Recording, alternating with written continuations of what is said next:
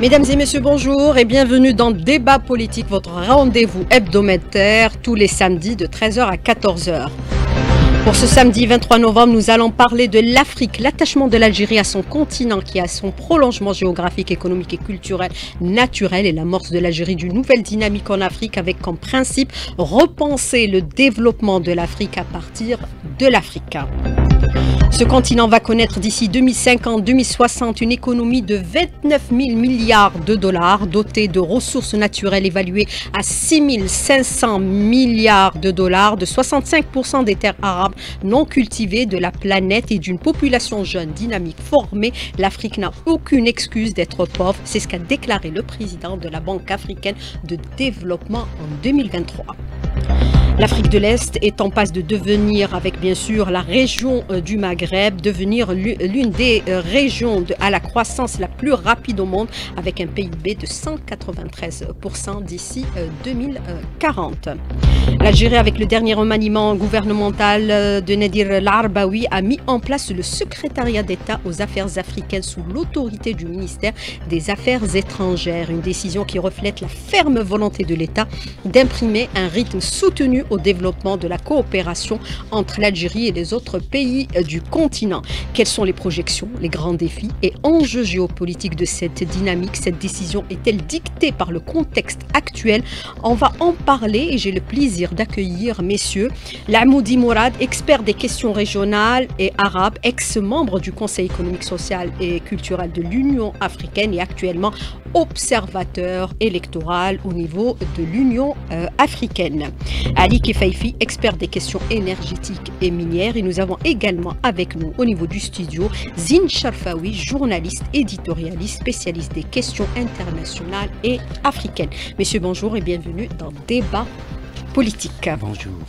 Bonjour, bonjour aux auditeurs d'Alger Chaîne 3.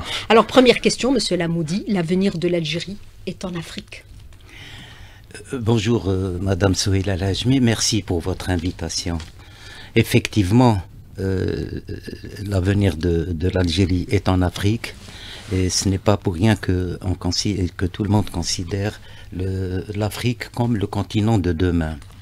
Et nous, en qualité d'Africains, euh, nous ne pouvons euh, que nous rallier à cette optique et j'aimerais bien me référer à Cheikh Meriem Makeba, euh, qui, parlant de l'Afrique, parle de Mama Africa, notre mère l'Afrique.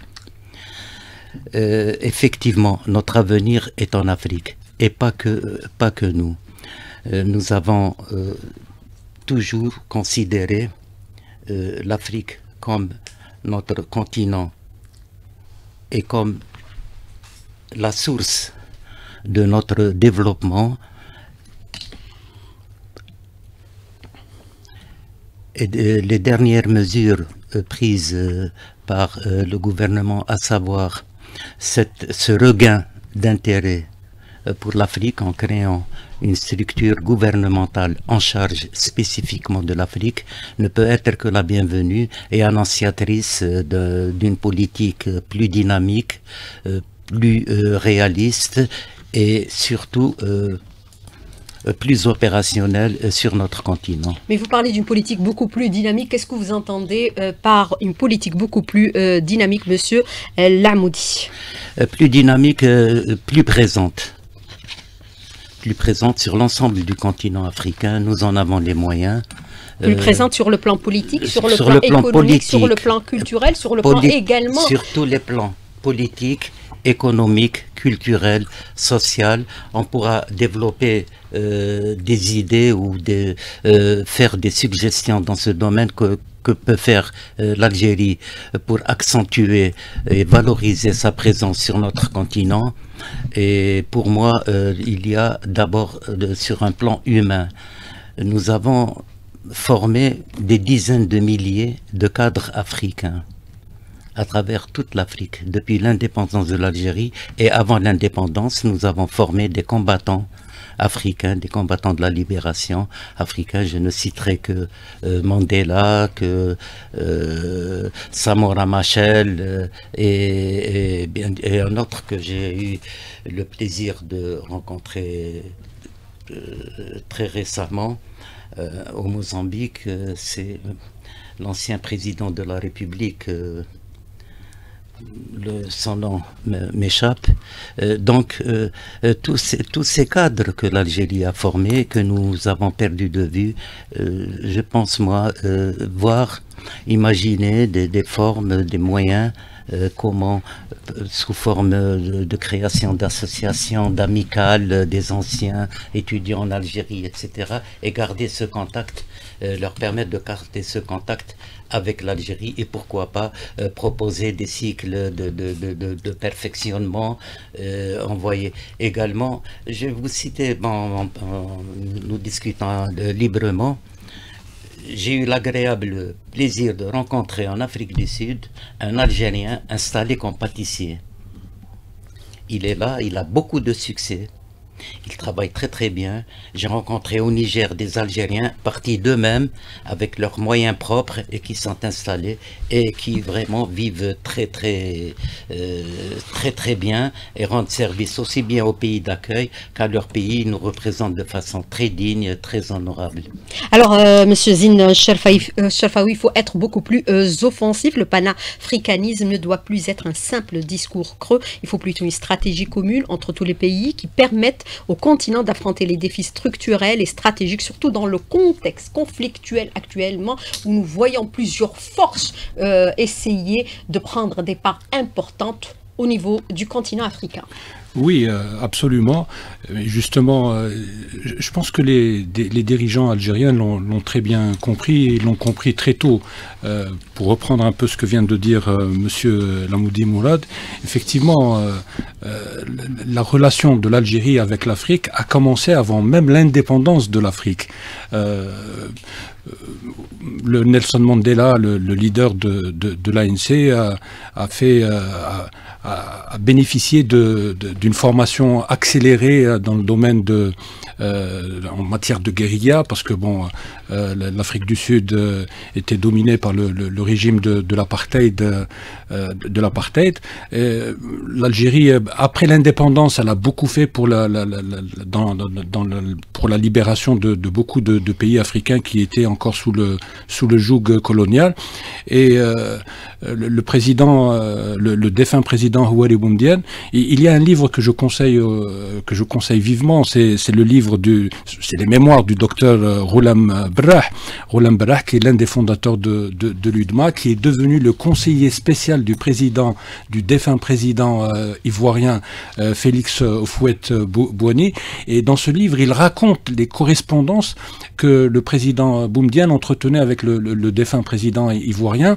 Et à travers, à travers ce livre, euh, on, peut, on peut euh, euh, si vous voulez, cerner toutes les initiatives faites par l'Algérie, à la fois pour les, libérer les pays encore colonisés, mais également pour créer des synergies entre les pays africains eux-mêmes et créer des synergies entre l'Afrique et le monde arabe, par exemple. Mais comment renforcer cette synergie entre, bien sûr, l'Algérie et l'ensemble des pays du continent Monsieur Zinf Sharfaoui, puisque nous avons vu que l'Algérie prend et c'est le principe en émergence dans l'esprit de tous les Africains, des solutions africaines aux problèmes africains par les Africains. Eh ben, on peut revenir par exemple la, la, création de ces, de ces synergies. Alors pendant la, la guerre israélo-arabe de, de 73, l'Algérie a joué un très grand rôle dans la mobilisation euh, des pays africains et dans la, mise en place d'une solidarité africaine à l'égard du peuple palestinien. Et c'est un peu grâce à l'Algérie que de très nombreux pays africains ont euh, cessé leurs relations avec euh, l'État sioniste à l'époque. Et juste encore, pas très loin de, 73, 74, 75, l'Algérie a présidé l'Assemblée générale des, Nations Unies. À l'époque, c'était le ministre des Affaires étrangères, Abdelaziz Bouteflika, qui avait euh, donc présidé l'Assemblée générale. Il ne faut pas oublier que le il, deviendra président de la République en 1999. Abdelaziz Bouteflika a invité Yasser Arafat au niveau de la tribune des, Nations Unies, il a donné une tribune à l'OLP. Et c'est aussi euh, l'Algérie, en 1974, qui a chassé les représentants du régime de l'apartheid à l'ONU.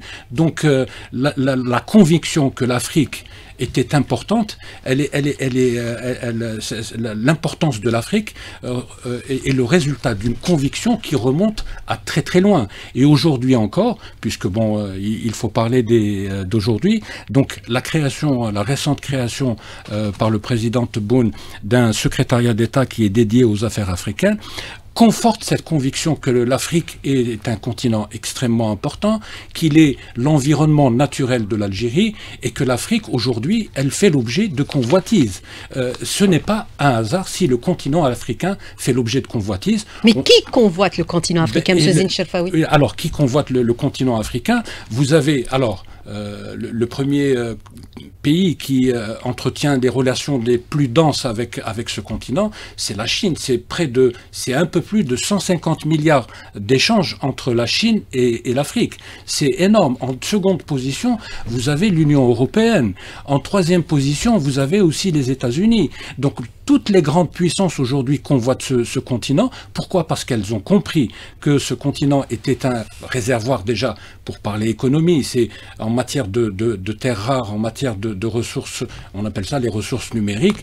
Le, le, continent africain est, est, extrêmement riche en, en ses ressources.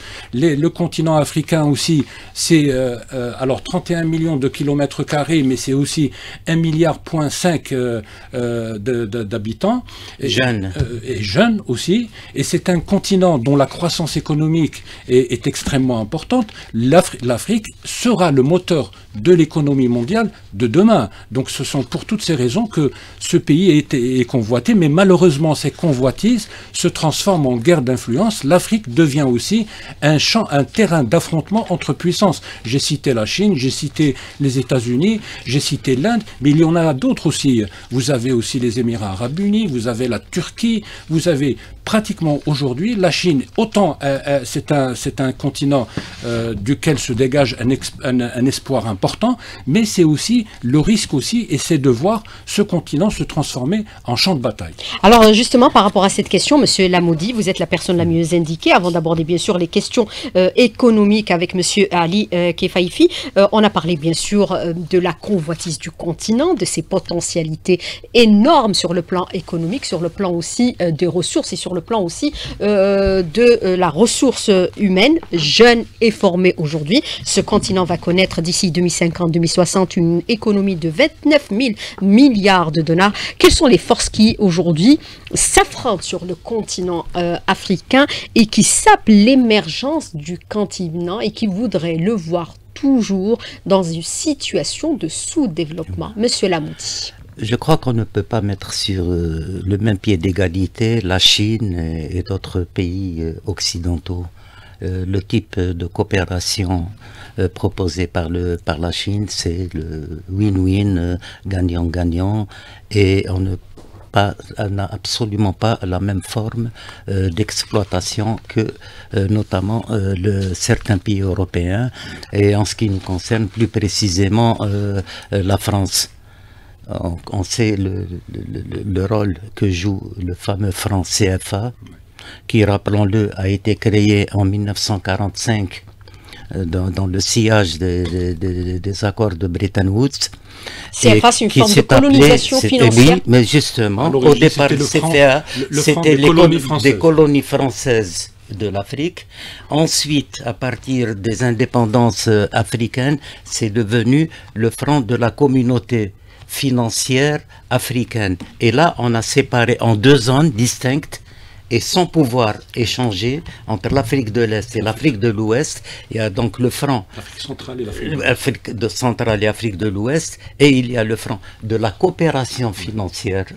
Et donc, euh, si permettez-moi l'expression, le chien elle-même en a changé le collier Mais la volonté néocoloniale est tout à fait claire puisqu'ils sont obligés de garder, je crois, 80% de leurs réserves dans des banques françaises. Donc ils ne gèrent, ils ne gèrent pas leurs finances, ils ne gèrent pas leur argent. Et euh, là, nous, nous assistons, les pays de euh, l'EAS, les États du Sahel, euh, ont marqué leur volonté de, de quitter cette zone après avoir quitté la CDAO. On va voir comment les choses vont évoluer. Mais là, c'est le, le franc CFA, c'est le pur exemple, symbole du néocolonialisme. Mais justement, quand on parle de ce néocolonialisme, nous connaissons aujourd'hui, mais est-ce qu'il y a d'autres forces qui interviennent aujourd'hui au niveau du continent dans certains États? Quand nous savons qu'à côté, du côté de l'ouest du pays, vous avez maintenant l'entrée de l'entité sioniste au niveau de cette région. Est-ce que on veut transposer le modèle euh, du Proche moyen et Proche-Orient au niveau du continent, puisque nous avons vu aujourd'hui des stabilisations de beaucoup de, pays, notamment ceux du Sahel, et vous avez avec bien sûr le euh, Sénégal. Oui, euh, c'est indéniable euh, que... Excusez-moi, le Soudan. Le Soudan, le Soudan, la Libye, euh, les États du Sahel. on peut peut-être même parler d'un conflit qui risque de prendre des proportions très graves entre l'Égypte et l'Éthiopie. Oui, ça, ça absolument pour, pour les eaux du Nil. Donc les, les, les les contentieux ou les, euh, crises euh, euh, sont, nombreuses et ne, pas oublier également un problème très important à tout point de vue. Moi, je dirais pas seulement politique, pas seulement, mais surtout moral. Il est impossible qu'en Afrique, il reste encore une colonie. Mm-hmm. Ça, c'est inadmissible. Vous parlez du Sahara occidental. Du Sahara occidental, bien entendu, la dernière colonie. Et euh, euh, moi, je pense que euh, l'Afrique devrait se mobiliser bien davantage pour justement permettre au peuple sahraoui d'exercer son droit légitime à, l'autodétermination et à l'indépendance. Mais justement, par et rapport là, à ce... quand on comprend la position du Marzen, prêt absolument à tout pour faire prévaloir euh, ses ambitions sur, euh, sur le Sahara occidental. Et on l'a vu, franchement, disons l'expression, on n'engage que nos personnes, vendre son âme au diable, c'est ce qu'il a fait pour euh, contourner le droit international et pour imposer euh, ses ambitions euh, expansionnistes. et ça, on ne peut pas, on ne peut pas l'admettre. Et, il y a l'alliance maintenant ouverte surtout sur un plan militaire, sur un plan sécuritaire avec l'entité sioniste. On a vu maintenant Macron, je dis Macron, je ne dis pas la France, ce rapprochement spectaculaire, cette reddition euh, avec le Maroc pour contourner le droit international. Et on a vu la dernière résolution euh, à l'ONU où on essaye de remettre en cause ou de refuser certaines euh, revendications légitimes du peuple, euh, du peuple sahraoui sous prétexte de momentum. Je voudrais bien simplement rappeler que c'est sur cette base que les fameux accords de la honte de Munich en 1936 ont été faits avec l'Allemagne. Donc ils, n'étudient même pas leur histoire, ils ne voient même pas quel, quel précédent de tels procédés peuvent peuvent entraîner. Mais justement par rapport à cette colonie, la dernière, au niveau du continent africain, le Sahara occidental, bien sûr avant de rejoindre cette émission, vous m'avez parlé d'une disposition au niveau de l'Union africaine qui peut définitivement régler cette question sans qu'il y ait d'ingérence aucune de l'étranger. Au niveau de l'UA, on peut régler cette question de décolonisation. Oui, on peut la, régler, mais euh, quand il y a... Quand, euh, oui, mais comment la régler Avant de parler de ce qu'on a en fait? Non, comment, comment la régler d'abord?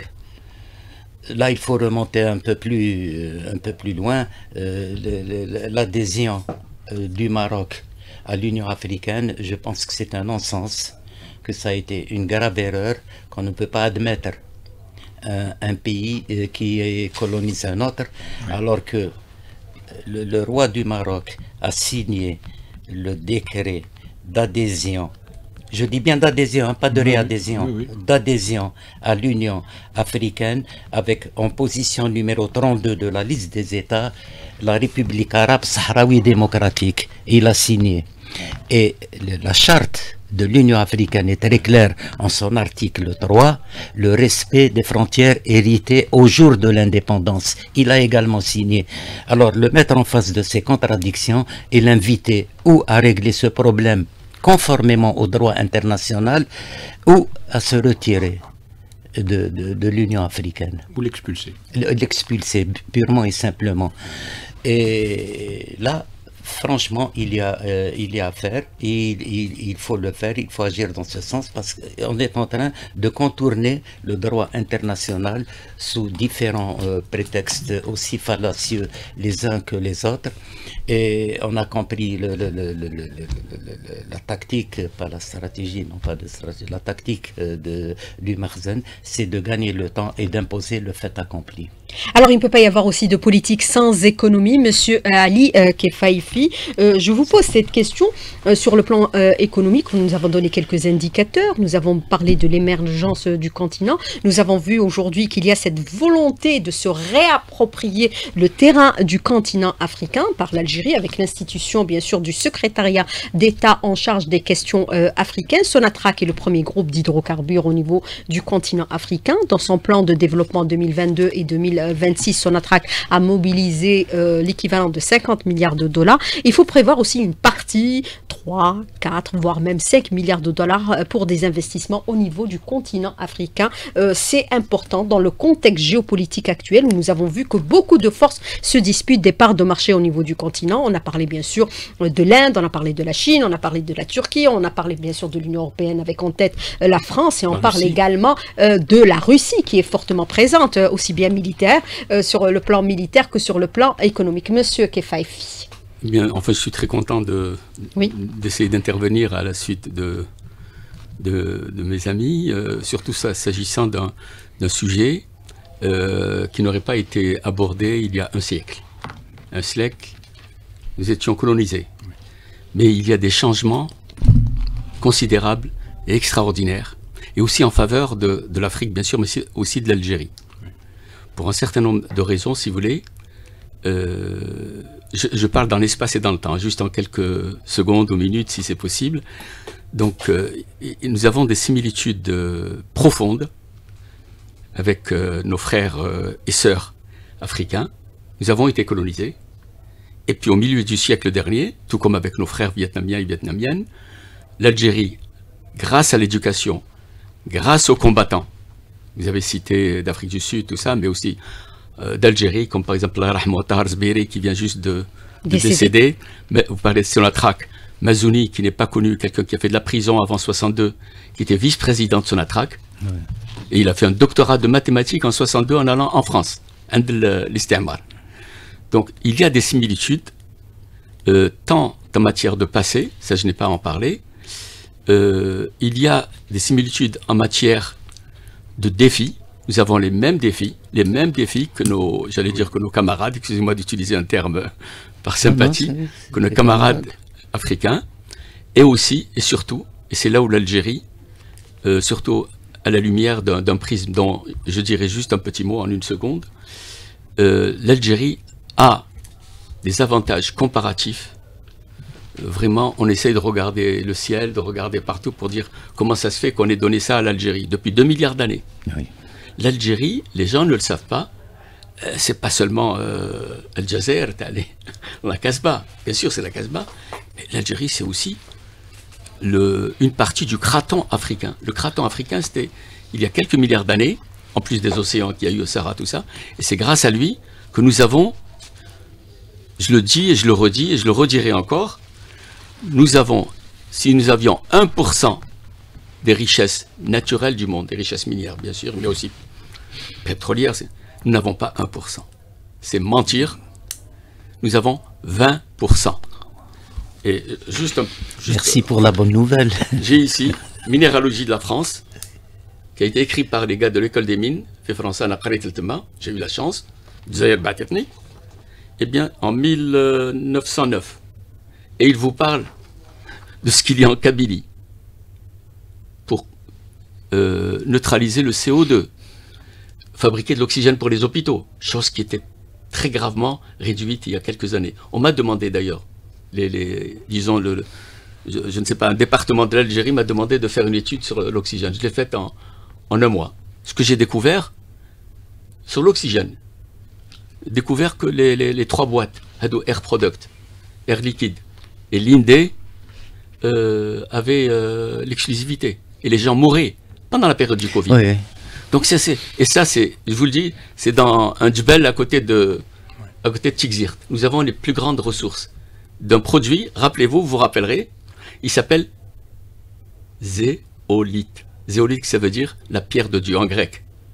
Mais est-ce que Sonatrach pourrait être aussi la locomotive du continent africain? On a parlé de ces investissements qui sont importants dans le pays, dans l'exploration et bien sûr la gestion euh, des ressources euh, euh, pétrolières et gazières, 50 milliards d'ici bien sûr 2026, c'est le plan 2022-2000. Est-ce qu'on pourrait investir, comme le font d'autres pays, 3, 4, voire même 5 milliards de dollars au niveau du continent? Quand vous avez par exemple la Chine va investir 5 milliards de dollars dans les économies africaines, principalement pour construire de nouvelles liaisons de transport et d'installation énergétique et pour exploiter des mines.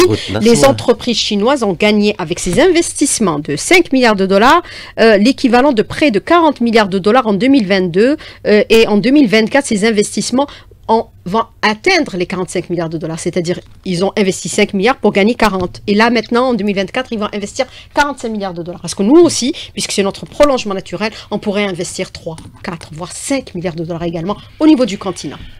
Le, potentiel est, gigantesque. Si le Sonatrach a essayé, hmm. On est présent déjà dans certains pays. le Niger, la Libye. limitrophes, effectivement, mm. le Niger, la Mauritanie, la Libye, etc. D'ailleurs, en Libye, j'ai passé trois années. On pourrait être beaucoup plus présent. Vous savez qu'est-ce qu'on a fait pour la Libye? Je l'ai fait. Moi-même, on m'a nommé directeur de projet Sonatrach. Mm.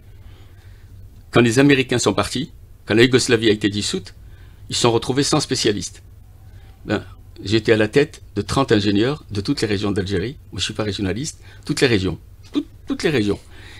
Et on était à Ras Lanouf il y avait une raffinerie, une usine d'éthylène, un port pétrolier, donc avec le pétrole qui vient. J'étais directeur. J'ai passé trois années le thème. Je vous jure, c'est là où je me suis rendu compte. Je dis la vérité, ce que j'ai vu.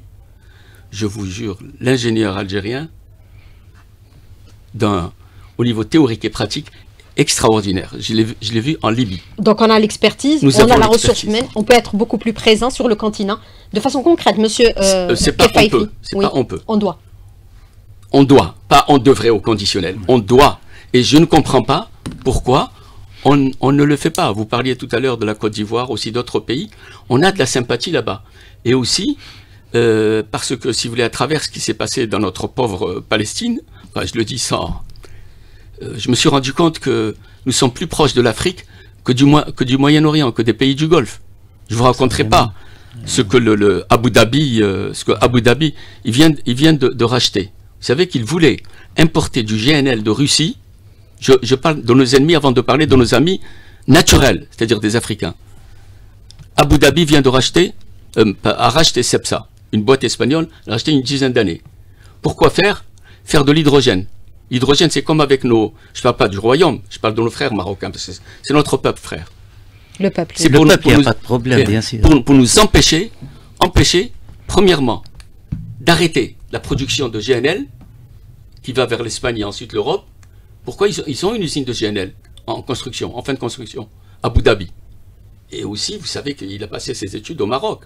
C'est un ami de, je ne rappelle pas le nom du souverain marocain, Mohamed VI ou de quelque chose comme ça. Enfin, je plaisante.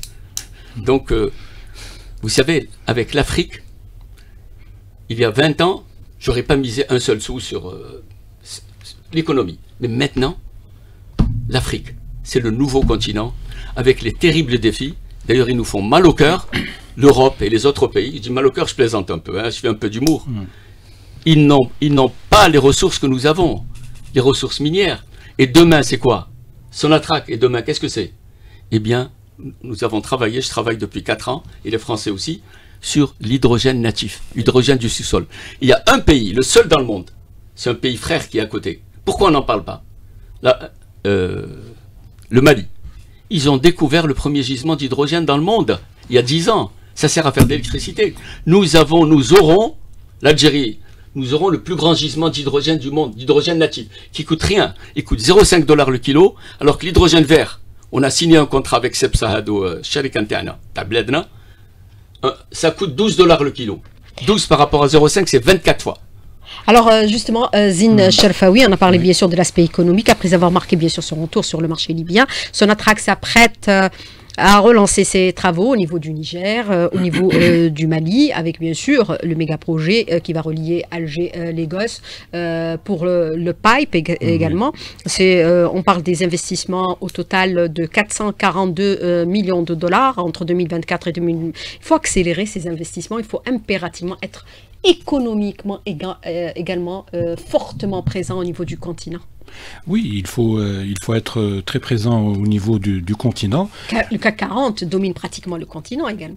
Euh, oui, vous parlez des entreprises françaises. Elles sont très très nombreuses euh, sur, le, sur le continent.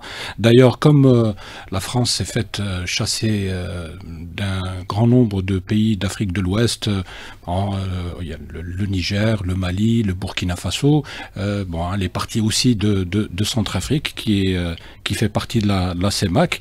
Bon, mais il n'empêche qu'actuellement, la, la, France est en train de s'intéresser aux pays anglophones en, en Afrique. Et donc, euh, c'est là-bas qu'elles essayent, qu'elles essayent de combler le déficit, euh, le, déficit euh, que la France a au niveau de, de, l'Afrique de l'Ouest. Mais effectivement, tout le combat est autour de l'énergie et des ressources. Oui, le, combat est, autour de, de l'énergie et des ressources, mais juste pour structurer le débat, il faut savoir que l'Afrique est un continent qui a un, formidable potentiel. On en parle depuis, euh, depuis le début de, l'émission. C'est 31 millions de kilomètres carrés, un milliard et demi de personnes, une croissance importante, des ressources extrêmement abondantes. Ça va du gaz aux terres rares en passant par, par beaucoup de choses.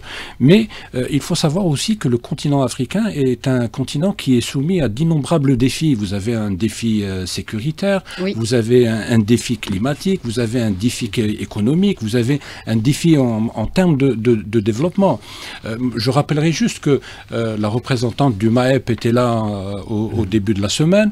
Elle a prêté serment en présence du président de la République. Elle a prêté serment en, présence du président de la République, qui est le président en exercice du forum du MAEP. Et donc, le MAEP, c'est quoi? C'est une structure qui est chargée d'évaluer les, politiques publiques des, pays membres du MAEP, parce qu'il faut être membre du, MAEP. Et c'est euh, une sorte d'observatoire qui euh, apprécie euh, la bonne gouvernance dans, les pays. Bon, il, faut aussi admettre que qu'en Afrique, il y a un déficit en matière de bonne, de bonne gouvernance. Et donc, on peut prendre la, région qui est la nôtre, donc la région Maghreb et la région Sahel euh, dont, fait partie l'Algérie. le Sahel aujourd'hui est l'épicentre du terrorisme international. Donc euh, autant le, continent africain est, euh, potentiellement riche et, potentiellement intéressant, mais autant aussi il a aussi énormément de, défis à relever. Je prends l'exemple du défi climatique. On en a peu, peu parlé. Les perspectives économiques en Afrique prévoient un besoin de financement de 2000 700 milliards de dollars à l'horizon de, 2030, et euh, ce qui équivaut à peu près à 400 milliards de dollars par an. Et au jour d'aujourd'hui, d'ailleurs c'est euh, euh, au jour d'aujourd'hui, seuls 47 milliards ont été donnés à l'Afrique pour rattraper le retard qu'elle accuse en matière de, de, enfin pour se prémunir des changements climatiques. Or, l'Afrique n'est pas un grand pollueur comparé, par exemple, à l'Europe, comparé à la Chine ou comparé aux États-Unis. Donc le, problème, c'est que non seulement elle n'est pas un grand pollueur, mais c'est la région qui subit le plus les impacts du changement climatique. Après, bon, je viens de parler des, défis sécuritaires et les défis aussi économiques sont, énormes.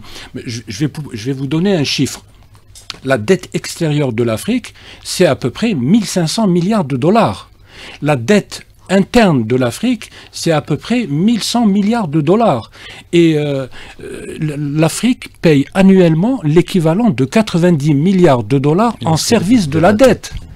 Donc oui, l'Afrique, c'est l'avenir de l'humanité. Oui, l'Afrique est un, continent intéressant, mais en même temps, l'Afrique est, par rapport, par rapport à la dette, euh, l'Afrique n'a jamais traversé une crise aussi importante que celle qu'elle traverse depuis trois ans. Les services de la dette sont, elles croulent sous les services de la dette. Il y a les dix pays les plus endettés au monde se trouvent en Afrique et se trouvent en Afrique de l'Ouest. Alors, euh, bien sûr. Donc les défis sont, sont, extrêmement importants. Et donc aujourd'hui, et le problème, c'est qu'on ne prête pas à l'Afrique maintenant pour parce que le développement, c'est bien beau de parler du développement. Il faut financer ce développement. Et pour financer ce développement, il faut des prêts. Et les prêts euh, accordés à l'Afrique sont des prêts extrêmement chers. Alors sur le plan sécuritaire, monsieur, euh, bien sûr, euh, Mourad Lamoudi, moi je voudrais revenir avec vous sur un aspect. Est-ce qu'on peut considérer aujourd'hui, avec le recul, avec ce qu'on entend, avec ce qu'on découvre, que le terrorisme est un instrument, euh, est une instrumentalisation occidentale, puisque chaque fois qu'on intervient militairement dans un pays, on prône le terrorisme, alors que c'est des pays qui ne connaissaient pas ce type de fléau. On l'a vu à travers, bien sûr, certains pays du Proche et Moyen-Orient, comme ce fut le cas par exemple en Syrie, euh, en Irak, en Afghanistan et euh, tout ce qui s'ensuit. Quelle est votre réponse justement par rapport à cette question précisément? Et aujourd'hui, on parle bien sûr énormément de terrorisme au niveau de la région du Sahel. Je rejoins totalement votre analyse. Le terrorisme est un produit occidental. Quand on voit ce qui s'est passé en Afghanistan, hmm. l'évolution, Ben Laden, où il était, après les attentats de Après les attentats de 2001, ce qu'il est devenu, quand on voit euh, euh, en Europe où on a l'impression que c'est par à coup, que là on a besoin justement, il y a, toute une campagne pour le terrorisme, justement il y a un attentat, y a euh, effectivement, moi je considère que c'est un, produit de, de l'Occident, il faut également assumer notre part de responsabilité. Il y a également des raisons euh, endogènes. Mais effectivement, les motifs exogènes sont nettement plus euh, importants.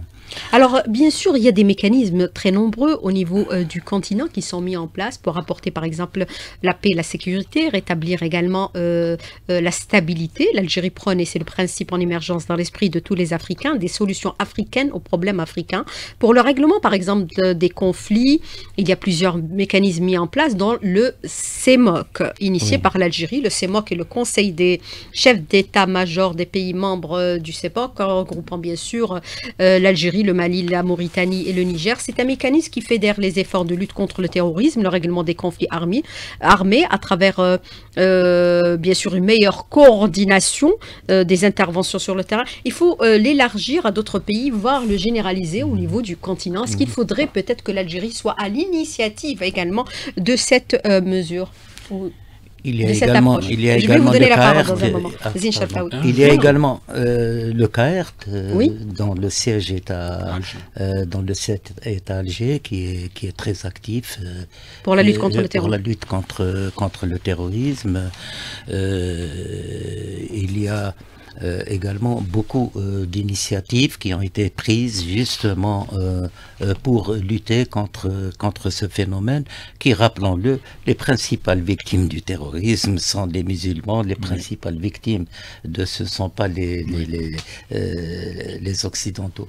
Mais je voulais à la suite euh, euh, de l'intervention de, notre ami pour parler de la dette et du service de la dette, c'est une arme. Ah oui, oui, c'est une arme euh, ourdie par les Occidentaux pour étrangler justement ces pays en voie d'émergence ou ces pays en, voie de, en voie de développement.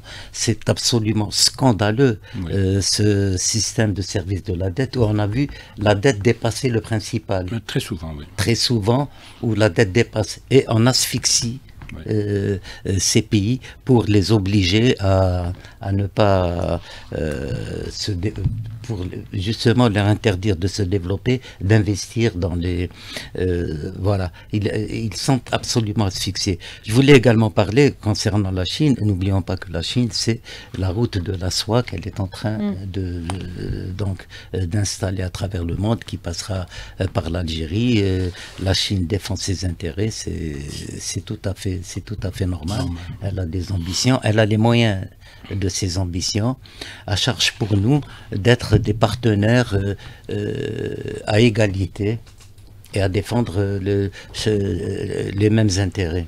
Alors, euh, oui, par rapport au CEMOC, il faut l'élargir Oui, bon, le, CEMOC, il faut l'élargir.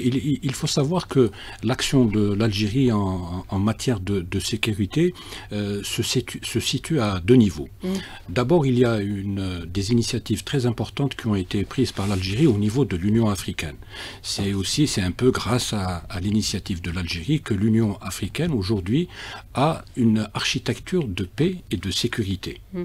Donc, c'est très important de, de le souligner.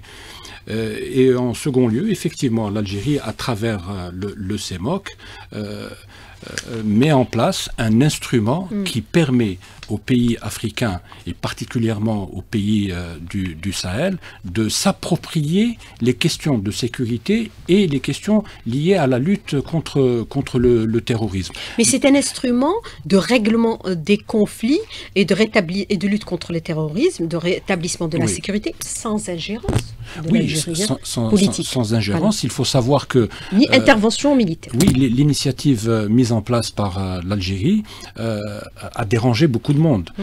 euh, à tel point que euh, on a voulu euh, justement couper l'herbe sous les pieds de l'Algérie à travers la création, par exemple, du G5 Sahel. Oui. Donc euh, euh, c'est pour vous dire à quel point les initiatives de l'Algérie dans le domaine de la lutte contre le terrorisme euh, gênent beaucoup en Afrique. Mais bon, le G5 Sahel est une organisation, est une structure mornée du moment du fait que elle n'a absolument rien fait sur le terrain. Les, ses membres, comme le Mali, ont vite fait de l'abandonner ou de ou d'en sortir parce qu'ils ont compris très vite que c'était plus un outil d'influence que véritablement une structure chargé de lutter contre le terrorisme et de débarrasser le Sahel du terrorisme.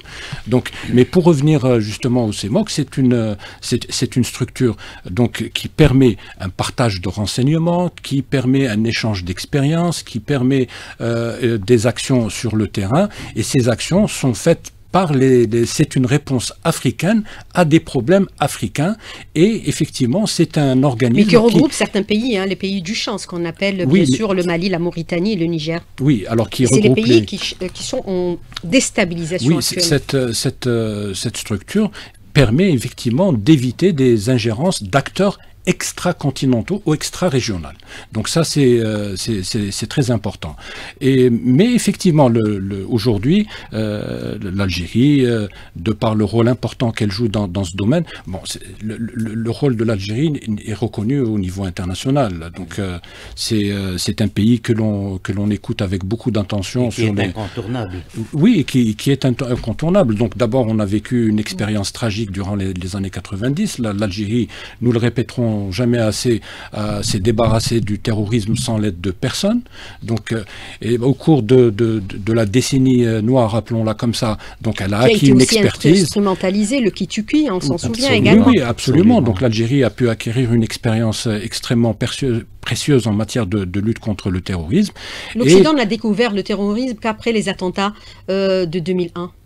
Oui, alors New York et Washington. New York, les, attentats de, les Twin Towers en, 2001 à, New York. Mais effectivement, donc, c'est euh, l'Algérie aujourd'hui euh, va exporte cette, euh, cette expérience et beaucoup d'Africains, beaucoup de pays africains euh, mettent en pratique l'expérience algérienne en matière non seulement de lutte contre le terrorisme, mais il faut aussi le souligner en matière de déradicalisation. Mhm. Aujourd'hui, parce que l'Algérie... Plusieurs actions ont été engagées au Mali. Oui, l'Algérie a compris très tôt que la réponse sécuritaire au problème de la... de, de, de, de de, l'islamisme radical euh, ou l'extrémisme violent euh, la, réponse sécuritaire ne, suffisait pas. Et aujourd'hui, il est important d'accompagner cette réponse sécuritaire par euh, euh, des, investissements, par le développement, parce que personnellement, je connais les, j'ai fait beaucoup de voyages dans les dans les régions, dans la région du, Sahel, et des fois on comprend, on ne justifie pas, mais à la limite, on comprend pourquoi les gens parfois sombre dans le dans le dans le dans l'extrémisme, etc. Parce que ce sont des, régions. Et, comment on comprend pourquoi euh, certaines populations sont happées par les groupes terroristes, tout simplement parce que il y a une misère indicible dans indicible dans, dans, dans, ces régions-là. Et bien sûr, l'extrémisme aujourd'hui, il est euh, multiforme. Alors, Monsieur Kefaifi, une question sur le plan économique. On devrait faire beaucoup plus sur le continent africain, par exemple, libérer les entreprises pour aller plus investir au niveau euh, du continent. Ça, c'est important puisque nous avons beaucoup de potentialités. On sait que la Turquie est fortement présente au niveau du continent, notamment dans le domaine, par exemple, de la mm. construction. Et nous avons des entreprises dans, le construction, dans la construction qui pourraient également, euh, c'est-à-dire faire valoir leur expertise au niveau de certains pays, puisque pour la Turquie, le volume des échanges commerciaux euh, au niveau du continent s'élève à 45 milliards de dollars avec une croissance de 35,4 milliards de dollars en 20 ans seulement. C'est-à-dire c'est une croissance annuelle de 9,4% de ses exportations globales à travers le monde. Pour l'Afrique, c'est 9,4. On devrait libérer beaucoup plus les entreprises aujourd'hui, Monsieur Kefaifi. Euh, c'est l'une des actions qui pourrait être faite, qui devrait être faite par euh, l'Algérie, enfin le pouvoir algérien. Il n'y a strictement aucun problème que des perspectives de gains extraordinaires. Je vous donne juste ce qui manque en Algérie. Mm-hmm. Moi, je l'ai vécu quand j'avais 30 ans, j'étais heureux. Euh, c'était pas le socialisme, c'est autre chose. C'est la planification. La planification vous permet de hiérarchiser et d'avancer, de, d'avancer et de manière sûre et gagnant-gagnant. L'Afrique, qu'est-ce que c'est comme Nous, l'Algérie? Je prends juste un cas. un marché africain extraordinaire pendant un siècle et qui intéresse bien sûr les entreprises comme Sonelgaz, mais aussi le secteur privé algérien. Dans le domaine de quoi? Il y a entre 300 et 700, 800 millions de personnes, donc la moitié de 1,5 milliard et demi d'Africains, de nos frères et sœurs, qui n'ont pas d'électricité, qui chauffent au bois. 300, 400 millions. Et l'Algérie, je donne un autre chiffre, L'Algérie, depuis 1962, moi j'ai fait des stages quand j'étais mmh. étudiant, Sonelgaz, qui avant s'appelait EGA, c'était une excellente entreprise, la première, même comparable à ce qu'il y a en Europe. Nous, nous avons électrifié, enfin nous, c'est-à-dire l'Algérie, 98% du pays. Du pays. En gaz, où c'est pas la peine d'aller, on a 45%, au lieu de le réserver à la vente l'an dernier. En Afrique, vous savez, il suffit d'aller en Afrique. Il suffit d'aller. Il n'y a pas que Sonelgaz, il y a le secteur privé. C'est ça que je ne comprends pas. Et j'assure, je ne comprends pas. Bien sûr, il y a une. La raison, c'est quoi? C'est la rente pétrolière et gazière. Il faut que l'on fasse de la planification. Je vous assure, c'est un marché. Donc, je reste dans l'énergie. Mais on peut aller euh, plus loin si vous voulez. Dans les mines Les mines, c'est extraordinaire. Extraordinaire. Euh, euh, par exemple, l'hydrogène nous avons l'un des plus beaux instituts du monde africain, qui a formé beaucoup de nos frères africains, nos frères et sœurs. Mais l'IAP, pourquoi ils ne lancent pas une formation dans ce qu'on appelle l'hydrogène natif? Je vous l'ai dit tout à l'heure. Natif, ça coûte 0,5 dollars le kilo. Le vert, enfin le vert, je ne sais pas pourquoi la couleur ils l'ont prise comme ça, coûte 12 dollars. 24 fois moins en Algérie. Et en Afrique, au Mali, ça a commencé.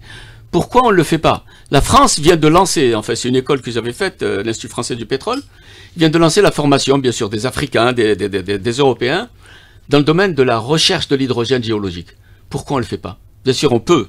Je connais un certain nombre de gars, moi je peux y aller gratuitement pour former. Former à la recherche, donc l'exploration de l'hydrogène. Il coûte rien. Et l'hydrogène, c'est la matière de demain. Transport, ammoniac, pétrochimie, tout ce que vous voulez. Pourquoi? Et l'Afrique, il n'y a, a pas que l'électricité.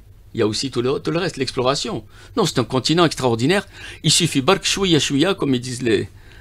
C'est quelques petites infrastructures pour pouvoir aller là-bas et, transporter les équipements. Et bien sûr, l'infrastructure, nous avons la transsaharienne. Moi, je voudrais revenir avec vous sur un aspect, euh, monsieur euh, Lamoudi, sur la question aujourd'hui des euh, forces qui veulent aujourd'hui mhm. à tout prix faire en sorte à ce que le continent demeure dans la situation dans laquelle il est actuellement, c'est-à-dire le sous-développement, puisque nous avons vu, contre toute attente, la volonté de l'entité sioniste d'avoir un statut d'observateur au niveau de l'Union africaine. Bien sûr, elle a été rejetée par, bien sûr, la mobilisation de l'Algérie et, l'Afrique euh, du, Sud.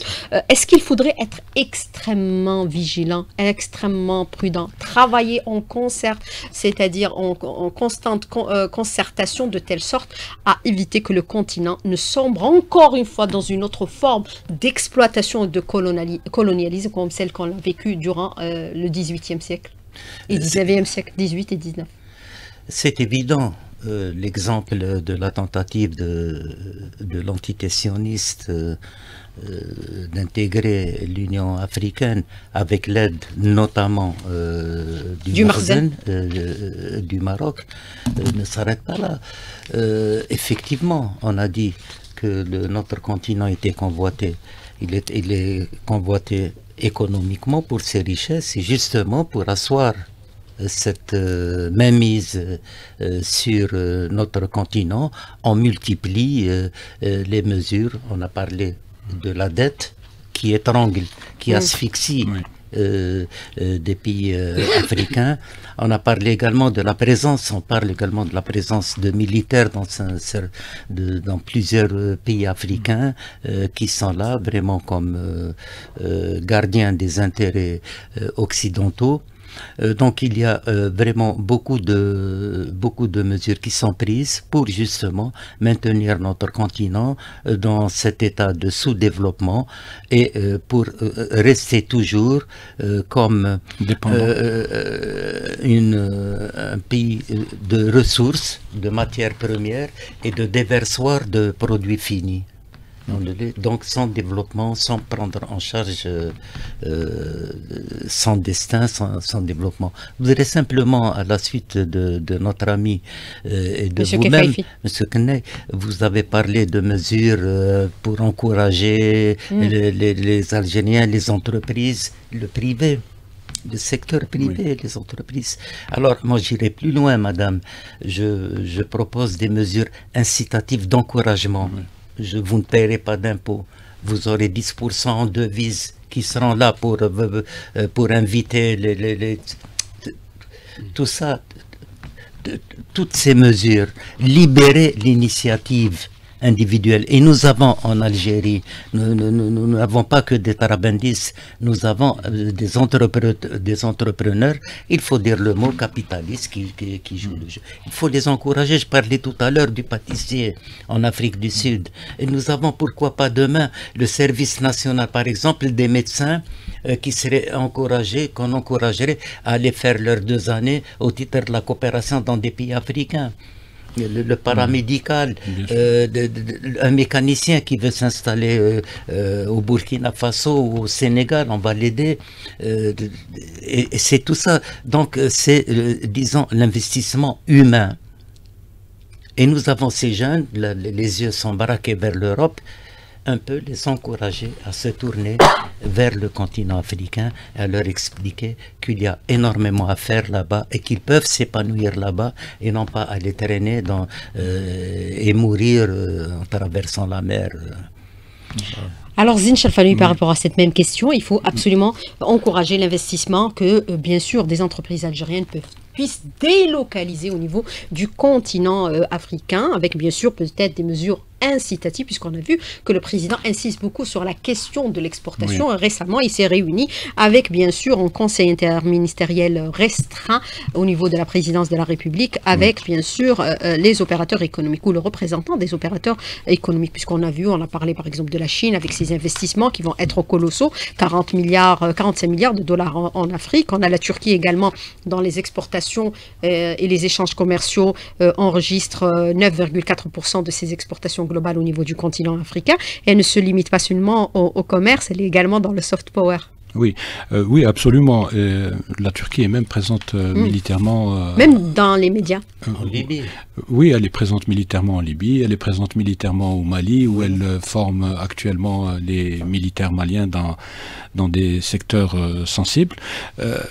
oui, alors revenons juste à la, à la décision du président Abdelmajid Tebboune de créer un secrétariat d'État aux, aux, affaires africaines.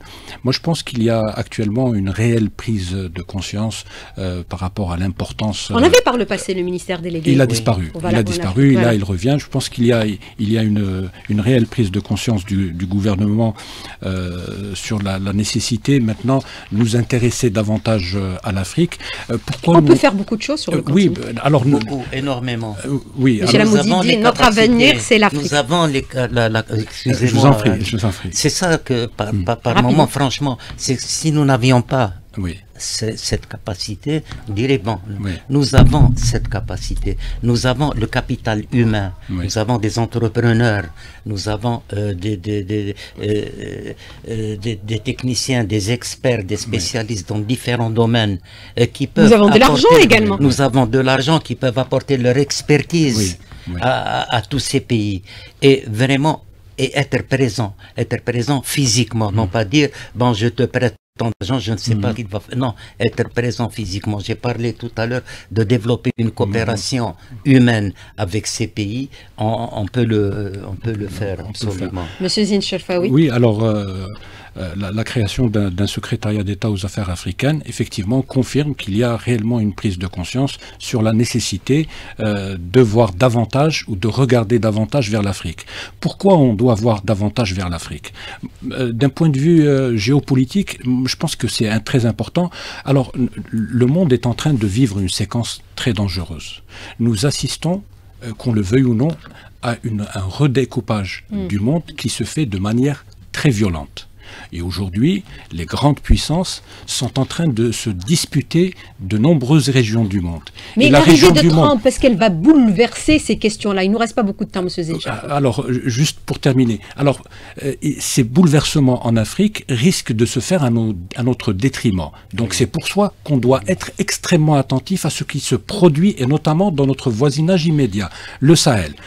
En matière économique, l'Algérie dispose d'innombrables entreprises publiques et privées qui, si elles sont encouragées, peuvent exporter leurs produits en Afrique. C'est notre marché naturel. On est en train d'externaliser les banques, oui. Alors nous sommes africains et l'Afrique est notre milieu naturel. Maintenant, concernant la venue, euh, le, retour de Trump au, pouvoir, il était là en 2016, il revient, il revient à la, Maison Blanche. Il s'est pas beaucoup intéressé à l'Afrique pendant sa campagne électorale? Eh ben, là, il C'est la chasse gardée des Européens, notamment la France? Oui, alors euh, il ne faut pas. Moi, je pense que euh, Trump revient euh, au pouvoir aussi dans un contexte mondial qui n'était pas le même qu'il y avait lors de son premier mandat. Donc autant lors de son premier mandat, il s'est désintéressé de l'Afrique. Euh, Mais maintenant, il va s'intéresser à l'Afrique. Il, il a pratiqué ce qu'on appelle une, une, diplomatie transactionnelle, contrairement euh, aux, précédents républicains comme George W. Bush qui pratiquait une diplomatie transformationnelle. On, on prend des avions, on bombarde, on change les pays, etc. Là, on est dans une diplomatie transactionnelle.